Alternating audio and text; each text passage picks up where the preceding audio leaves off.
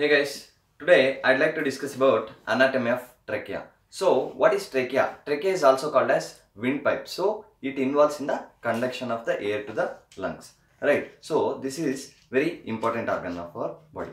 So, we'll start with anatomy of trachea now. So, trachea is made up of cartilages. I mean C-shaped cartilages. So, we'll start with that. So, how many C-shaped cartilages are there?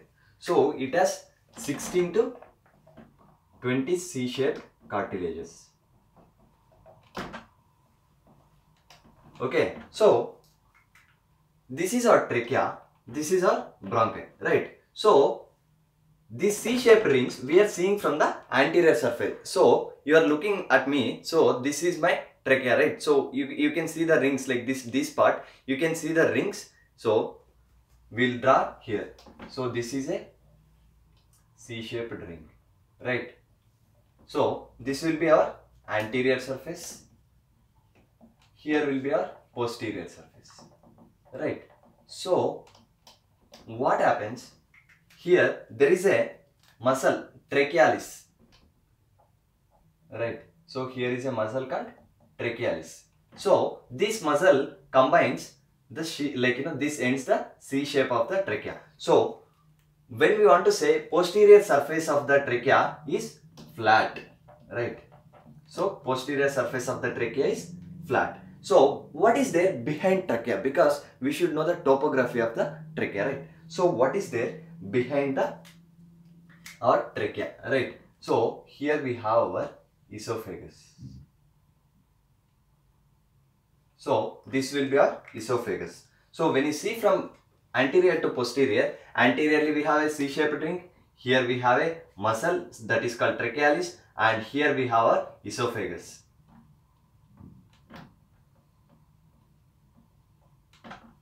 Right.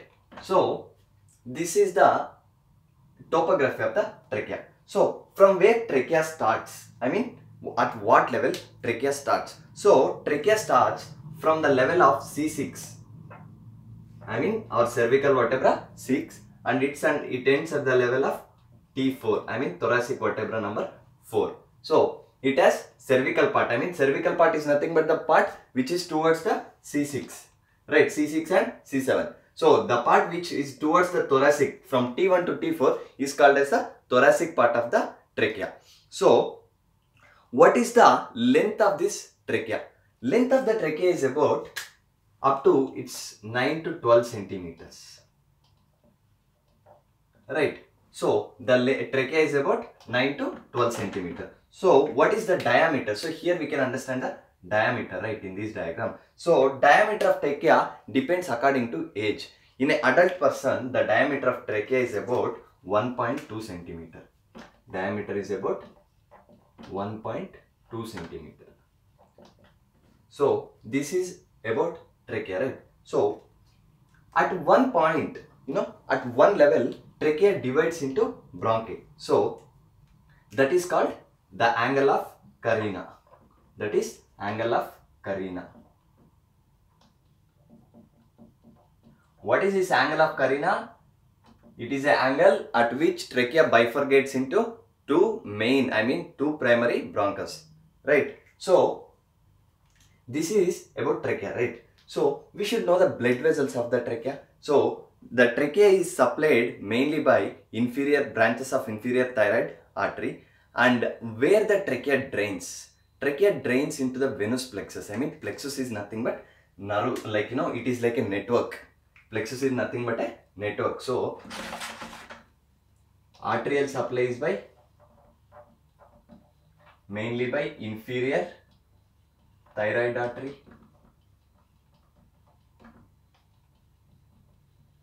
Right. So venous supply. So where the blood of the trachea drains. So it drains into venous plexus surrounding the trachea. Venous plexus. Right. So it has both sympathetic and parasympathetic innervation. So when i told about the this area uh, the trachealis muscle here we have a membrane also. What is the importance of that membrane? It actively involves. So whenever I'm taking a deep inspiration or inspiration, when I'm doing this, so this muscle involves in that movement, right? Because this is a cartilage, it can't change its shape or size, right? So, but it can change the shape and size. So, when I'm breathing, it can go like this and it can provide more space for me to breathing. So, we have lymph nodes also. So, what are the lymph nodes surrounding the trachea? So, here we have parallel to the trachea, we have paratracheal lymph nodes. Here we have paratracheal lymph nodes. So, these are the lymph nodes also of trachea. So, they are connected, right? So, the chain of the lymph nodes lying next to trachea are called as paratracheal lymph nodes. So, I told about trachea, right? So, now we will discuss about bronchi and bronchial tree. So, because many of us are confused about bronchial tree, how many, like, you know, what type of bronchus is there, everything we are confused. So, let's start with that, right? So, we'll do a bronchial tree.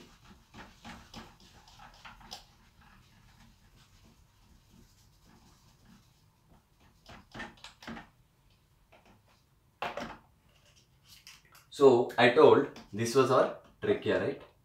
So where our trachea was divided? Divided at the angle of Carina.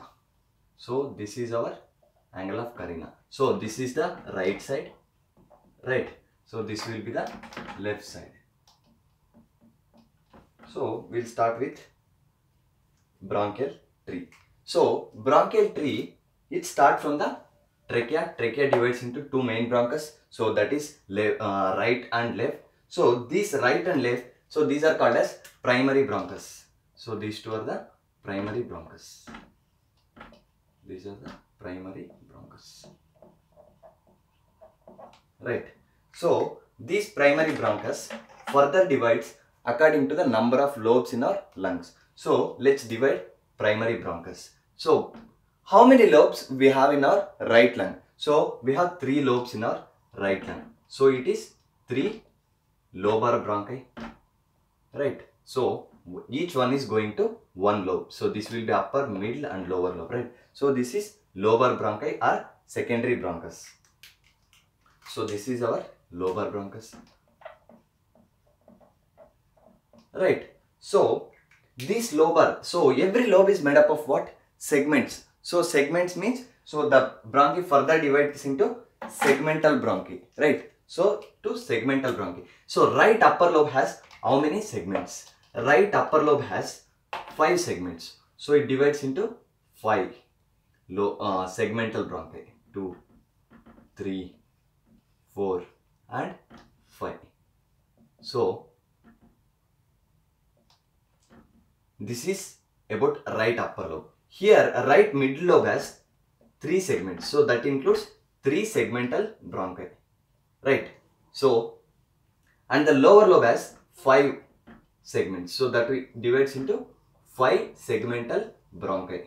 One, two, three, four, and the five. So this will be our right lower lobe, right middle lobe, right upper lobe. Right. So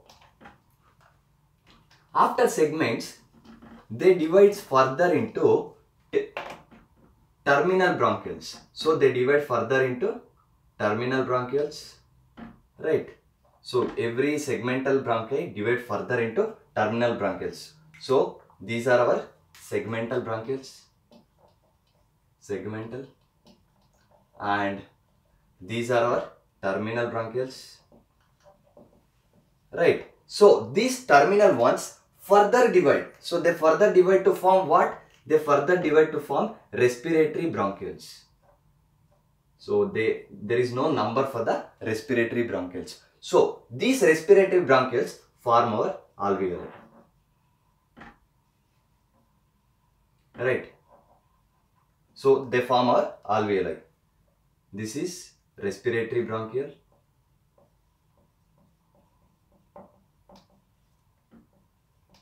And here comes our alveoli. Right. So this is how the bronchi divides till the alveoli in the left lung. So this happens everywhere in every segment of the lung. So let's come back to our left lung. Left lung has how many lobes? It divides into two secondary bronchi that is two lobar bronchi that has two lobes right. Left lung has two lobes so it divided further into two lobar bronchi right. So this is the lobar bronchi. So each lobe of the left lung has five segments. So that further divides into five segmental bronchi. So that is one, two, three, four, and the fifth.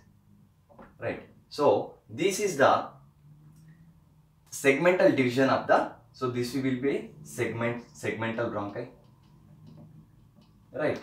So these segmental bronchi further divide same into terminal respiratory and alveoli in the left lung as well. So what is the importance like you know why we should know this?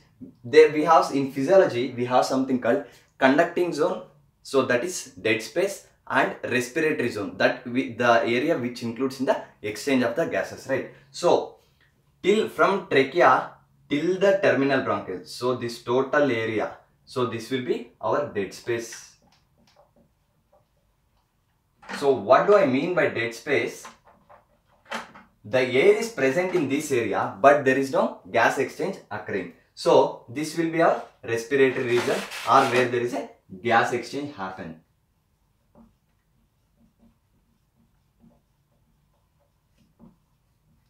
So this is about trachea and bronchial tree.